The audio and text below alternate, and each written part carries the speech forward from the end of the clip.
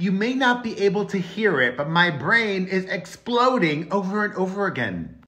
That is Amber Portwood's missing fiance, and I've got a lot of updates for you.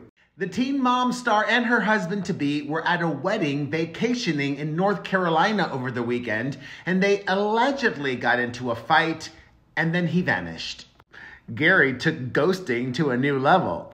In an interview after his disappearance, Amber was adamant that they didn't really get into a fight, that they were in love, and that he was truly missing and his family was worried.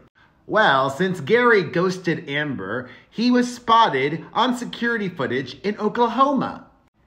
And now he's also been spotted in freaking New Mexico.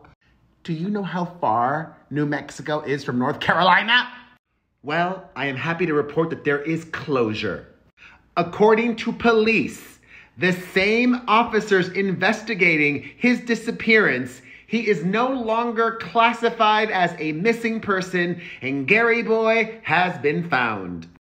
And unfortunately, police have not given us any other details at this moment.